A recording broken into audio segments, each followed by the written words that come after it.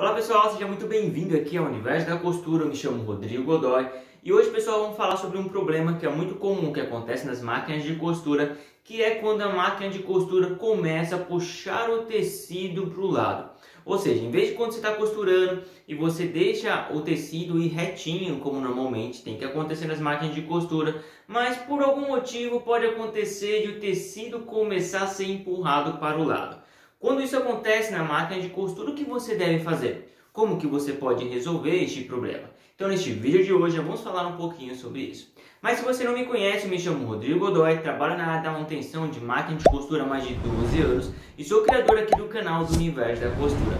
Lembrando, se você gostar, não se esqueça, se inscreva no canal, dá uma força para nós que vocês ajudam bastante. Então vamos lá, sem mais delongas, bora para o vídeo.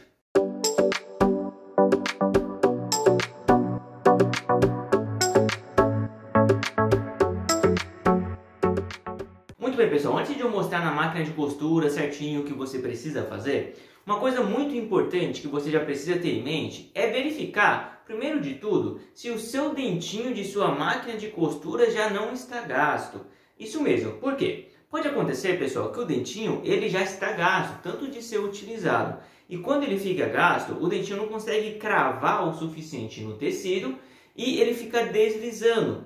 Ele puxa, puxa, mas ele desliza, aí que acaba acontecendo em alta velocidade, ele começa a puxar para o lado. Então, primeiro de tudo, dá uma olhada, verifique se não é o dentinho e precisa efetuar a troca. Primeiro. O segundo ponto, pessoal, você tem que verificar se não é o pezinho do calcador. Isso mesmo, se o pezinho do calcador estiver também danificado, machucado, com problema, vai ocasionar este problema do mesmo modo. Porque se ele não estiver lisinho, bonitinho, o que vai acontecer? No momento que ele cravar, o, a, o dentinho vai subir para puxar e ele vai estar tá com ranhuras, está com problema, ele vai começar a desviar o tecido também. Então é e pode ser esses problemas. Uma coisa que você precisa ter bem em mente, pessoal, a única coisa que pode dar este problema é a questão do transporte da máquina. Por exemplo, o que, que faz a máquina de costura puxar o tecido? É o calcador, que está ali prendendo o tecido, e o dentinho. E a chapa da agulha. É isso mesmo. Então são esses três pontos que é importante verificar antes de fazermos essa análise que vamos fazer aqui na máquina de costura.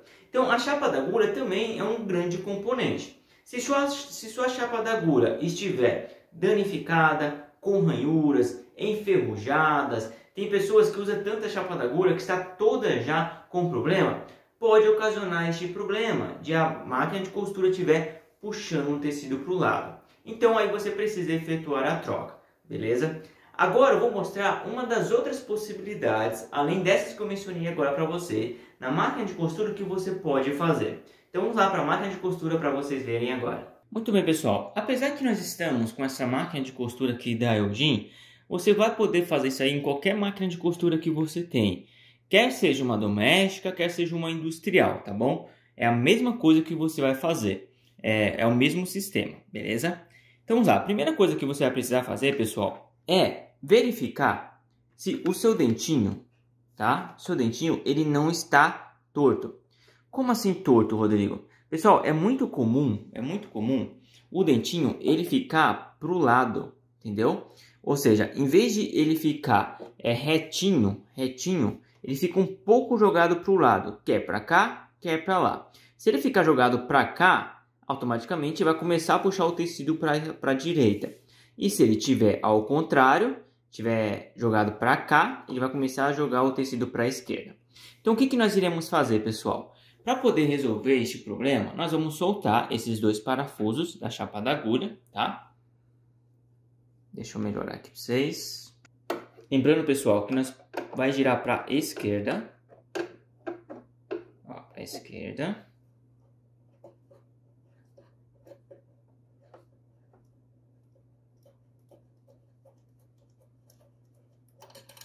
E vou retirar o outro parafuso girando para a esquerda.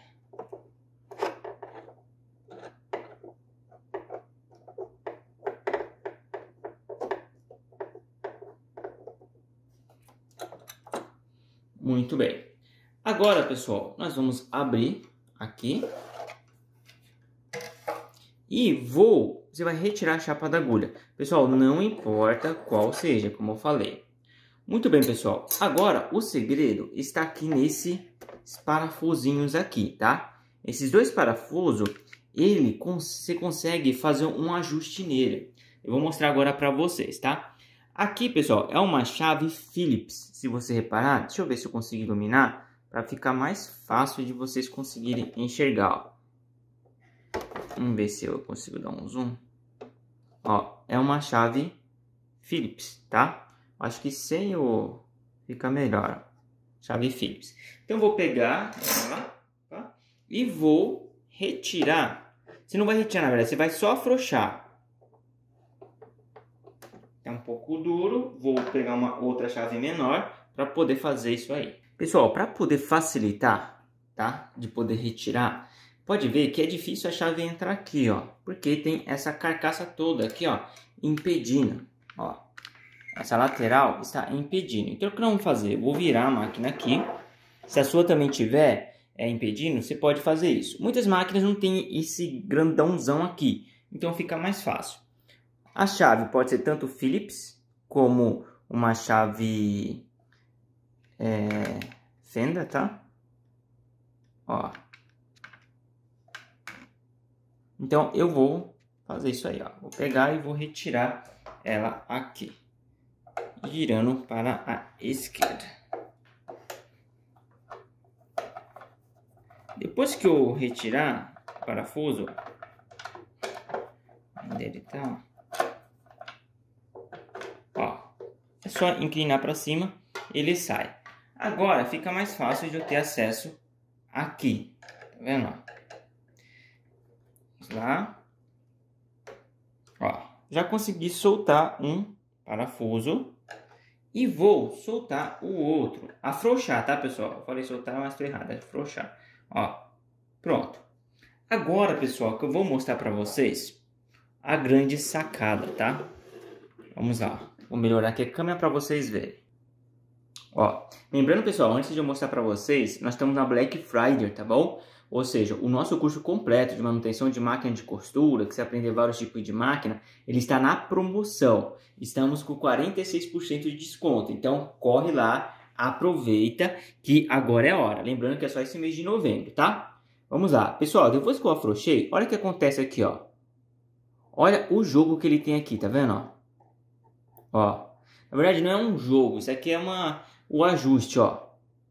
Então, se ele ficar inclinadinho assim, ó, mesmo que seja pouco, mas você pode ver que ele tá meio que inclinado para a esquerda. Ó. Aí. Ó, ele tá meio inclinado para a esquerda, tá vendo? Ó, tá para esquerda aqui, ó. O que vai acontecer? Ele vai começar a puxar o tecido para lá. E se ele tiver ao contrário, assim, ele vai puxar para lá. Então você tem que deixar retinho, retinho assim. Então, esse ajuste, esse ajuste tem até algumas máquinas que é meio chatinho de fazer, tá? Por quê? Porque você vai ter que ver certinho, exatamente, porque vai ter que bater com a parte aqui, ó. É, esses, essas entradas da chapa da agulha com o dente. Porque senão ele também vai ficar ruim. Então você não pode deixar ele encostando, por exemplo, ele não pode ficar assim, ó. Você joga pro lado ele fica bem encostando na lateral, ó, porque às vezes não vai fechar, tá vendo? Porque vai impedir, ó. Aqui até encaixou, mas você consegue ver que o dentinho está para a esquerda, ó. Você tem que deixar ele bem no meio. Você tem que deixar assim, ó. Você tem que ir arrumando ele bem no meio. Ó. Não pode deixar ele, lembra, nem girado para lá, nem virado para cá. Tem que deixar ele perfeitinho aqui, ó. Pode ver, pessoal, que agora, ó... Ah, e outra coisa, ó, a chapa da agulha também tem um jogo, ó. Tá? Então, você tem que ver certinho, porque às vezes você deixa tudo bonitinho, aí você joga a chapa da agulha pra cá, ó, aí fica ruim. Joga a chapa da agulha pra lá, fica ruim. Então, você tem que deixar ela retinha assim, ó. Se você parar, agora ele tá razoavelmente bom. Então, o que você vai fazer na sua máquina? Eu não vou ficar aqui regulando, regulando certinho, porque senão vai dar muito tempo aí no vídeo, tá? Você vai deixar ele retinho, aí você vai retirar a chapa da agulha com o mais cuidado possível, certo? Vai vir com a sua chave, nesse caso é minha Philips, e você vai apertar. Toma cuidado que se você, por exemplo, no momento que eu apertar e ele virar para cá, ó, aí já era. Mexeu o dentinho, já era. Aí você vai ter que fazer tudo novamente, entendeu? Aí você vai apertar, apertou, aperta um só, aí você coloca a chapa da agulha e testa novamente, tá bom? Ó, neste caso parece que quase ficou bom, tá bom? Então é assim que você vai fazendo. Pessoal, isso aí vai resolver o seu problema se não foi toda aquela alternativa que eu falei para vocês, tá? Aí depois que vocês fizerem tudo isso, certo? Fizerem isso aí e faz o teste, provavelmente vai dar certo, tá bom? Então espero que vocês tenham gostado, pessoal. Não se esqueça de se inscrever no canal, dar uma força para nós, que você ajuda bastante. Então até mais e até nossos próximos vídeos.